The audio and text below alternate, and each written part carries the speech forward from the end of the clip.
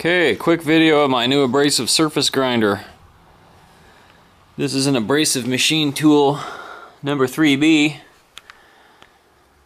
A World War II era grinder. It's automatic, but this is a my mechanical automatic, not hydraulic automatic.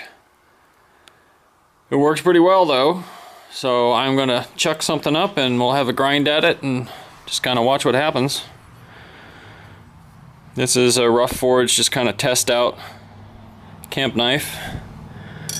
And I am going to start flattening the ricasso some. So I've got it on the chuck there near the wheel.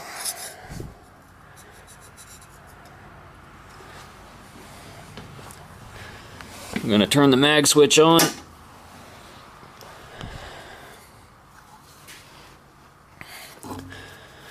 On there good and tight. Now I happen to know that this is near the thickness of that knife blade, but I am going to loosen this set screw and crank the grinding head up a little bit.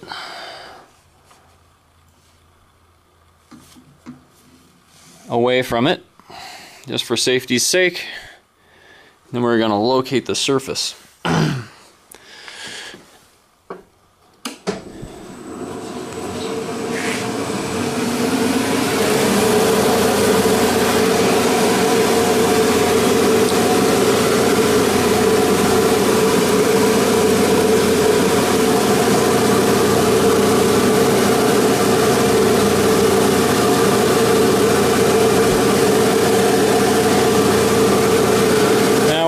the uh, spine, coming towards the ricasso. The thickest bit is right about here, behind the ricasso. So we're going to gently lower the grinding head down until it just starts making sparks.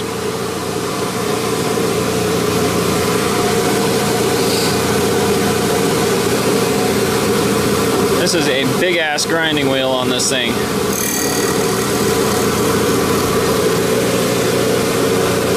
Set the set screw. I'm going to take a, a pass or two by hand here.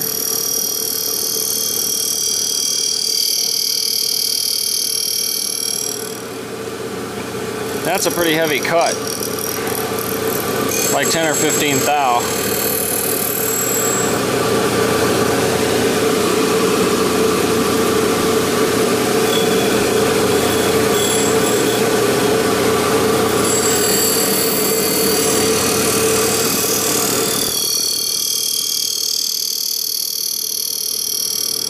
But this a 3 horsepower spindle and a 12 inch by inch and a half wide wheel. It's really a brute.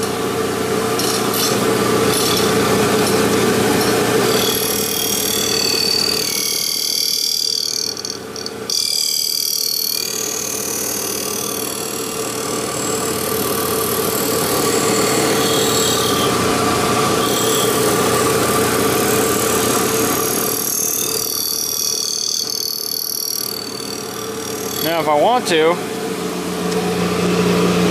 see how that says in and that says out. But we want to move the table in.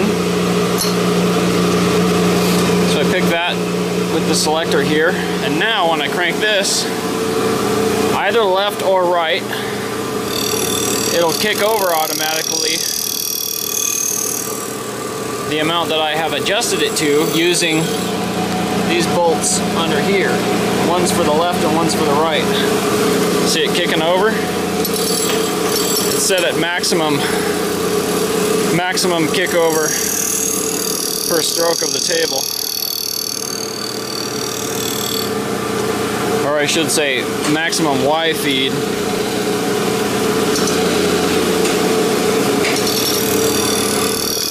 So I don't have to keep cranking the Y feed wheel.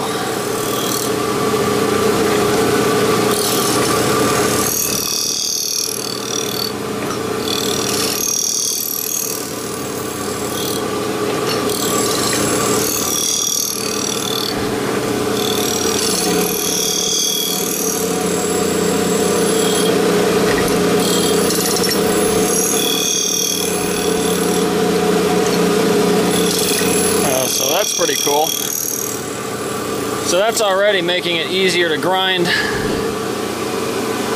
than if I had to crank both cranks.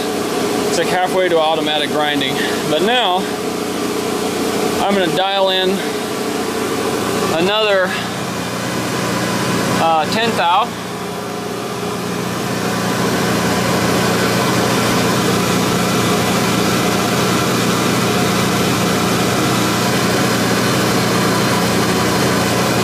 Set the, set the tension screw.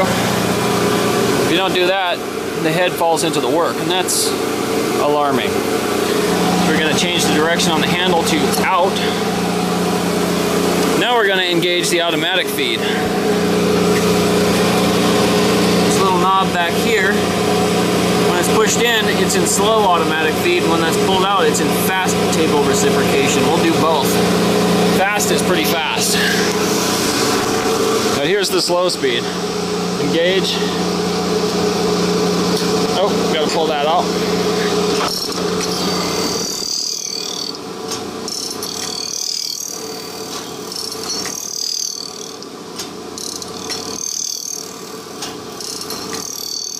Oh, it's not running completely off the workpiece at that end, so we'll fix that. I've stopped the table reciprocating for now. I'm going to adjust this dog here a little bit to the right so it runs off the end of the tang like I wanted it to. And now we're going to go again. That's better.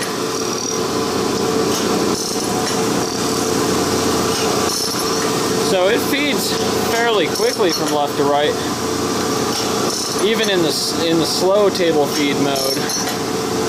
We're, we're already halfway across the width of our piece.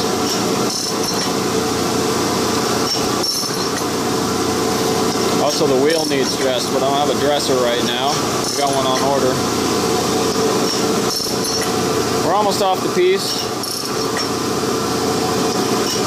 Disengage. If this thing is bumping along on the teeth I found, simply bringing it to the other side fixes that. So now I'm going to dial in 5 thou. We're going to take a higher speed pass. Just for the heck of it. I'm going to switch direction here to table feeding in again. Make sure that's out. We're going to pull it out here for fast operation. And here we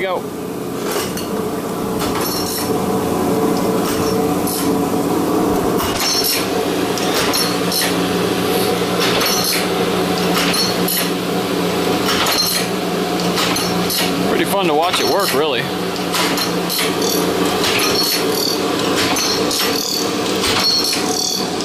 I've got this running off of a VFD at about 55 hertz right now.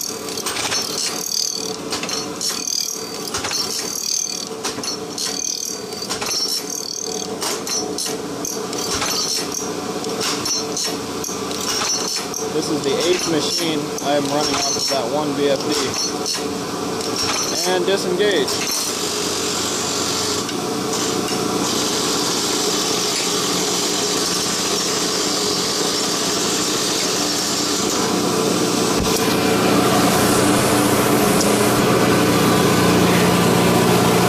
That gives a fairly rough finish traveling that fast.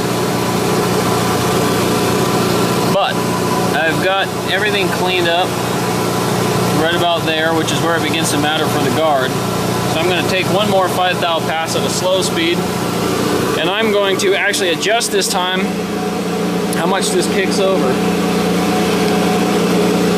So what I need right now is a half inch wrench.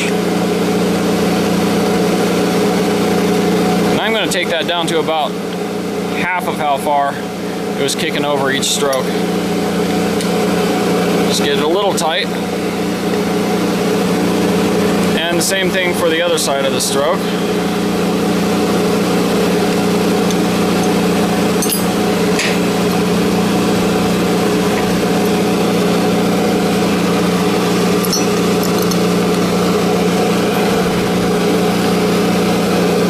Attempt to. it's uh, got some personality, this old machine. I'm still figuring out its quirks. There are no manuals available that I have been able to find. So this has all just been kind of discovering the details as I go. Now we should be set up. Now that we push this in too. We're set up for a slow left and right travel and an intermediate step over between passes. Made it so that the table needs to come out for us to continue grinding. And we've pushed the selector over to out mode. So we should be good to go. Except for, oh yeah, we gotta dial in five more thou. Right there. Set the set screw. And away we go.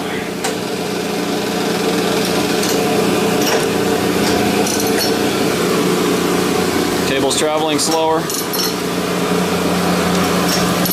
And it's not kicking over as far.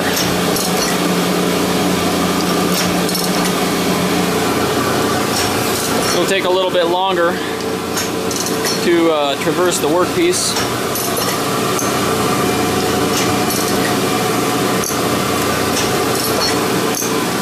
Yeah, this is a cool old girl here. There are several switches, such as this one, which is which are no longer operational. They're just electrical artifacts from someone's previous iteration of how to operate this thing. There's another switch that doesn't work.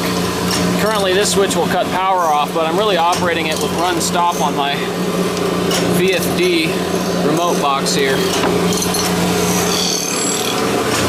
On the other side of the machine, there are also electrical artifacts. This right here is the current magnetic chuck controller and switch. And it's hooked via this cable up to the current chuck. However, there's also a drum switch here, which no longer does anything. Running over to that box, which is the old magnetic chuck controller. I also have a, a, coolant system here. This is a drain hose for the entire table. I need to find a sump. I've got a coolant pump over there that I can hook up once I get the sump together for wet grinding. Let's go have a look at uh, our progress. We're about halfway across, still going. Now check out under here.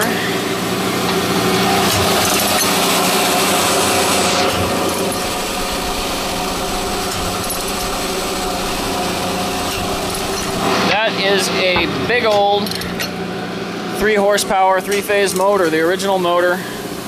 That is belt driving the spindle and also driving the automatic feed mechanism.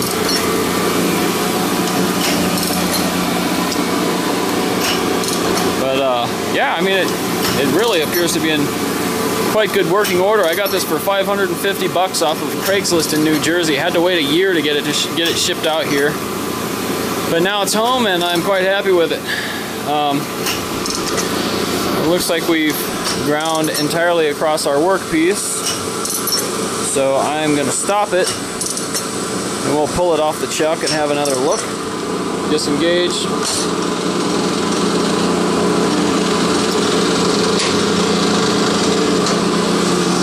And we'll turn off VFD. Now we are going to demagnify the chuck.